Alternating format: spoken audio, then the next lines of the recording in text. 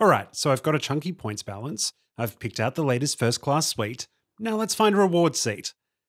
Hmm, it's hard enough finding paid seats on flights, let alone reward seats, so you'll quickly find flexibility in your timing is key. Point Hacks Brandon explains. So the best way to increase your chances of finding reward seats is to be as flexible as possible. So I'm talking where you're leaving from, where you're flying to, which airline you're considering, and most importantly, your travel dates. If you can be flexible on all of those points or any of those points, then your chances of finding reward seats will be a lot higher. Here's how you can stay flexible when booking flights with points. Think about your next European getaway. Where would you fly to or from? Many people may automatically gravitate towards London, but that also means reward seat availability is at a premium. For example, instead of just trying to find a flight to London with Qantas, uh, you could consider flying to Paris with Air France, to Amsterdam with KLM, or even to Helsinki with Finnair. All three of those airlines are Qantas partners, and you can book them with Qantas points out of Singapore. Your wallet might also thank you. The UK has actually had one of the highest departure levies in premium cabins per person since April 2022. It's actually cheaper to just fly out of any other European port. So in September 2022, I flew Emirates first class from Perth to Dubai to Vienna. But to be honest, I hadn't actually planned on flying into Vienna. I just knew I wanted to be somewhere on that side of the continent.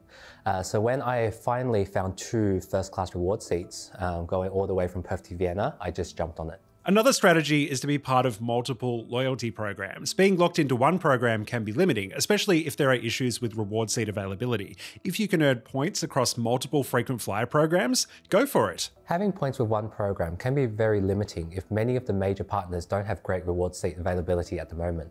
For example, in early 2023, we're seeing that both Emirates and Qatar Airways have made very few business and first class reward seats available to members with Qantas points. That makes it harder to travel to Europe because both carriers have a huge network, which is now mostly inaccessible with those points. In contrast, Velocity Frequent Flyer is enjoying a resurgence. For example, it's a lot easier to use Velocity points on partners such as Singapore Airlines, Etihad, and Qatar Airways all three of which offer plenty of reward seats to popular destinations including the Europe and the USA. Personally, I always keep a stash of Qantas points, Velocity points, and KrisFlyer miles ready to use.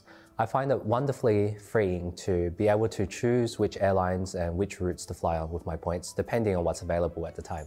Reward seats are also just generally more flexible than cash fares. You can usually change flights or cancel outright for a reasonable penalty, usually with points or a small amount of cash. That means it could be possible to lock in a particular flight now, even if it's not 100% what you're after. So say you're looking for Singapore Airlines first class reward seats, but you can only see business class at the moment. One strategy would be to book the business class seats now, because it's better than flying economy, right? And then later, if you do see the first class seats pop up, you can just easily call up or go online and change to the first class seats. You only pay 25 US dollars per person in change fees, plus the difference in miles between business and first class.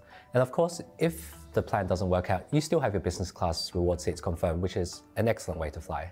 With both Qantas and Virgin Australia Velocity, you can change or cancel reward seats quite easily for just a reasonable fee in points.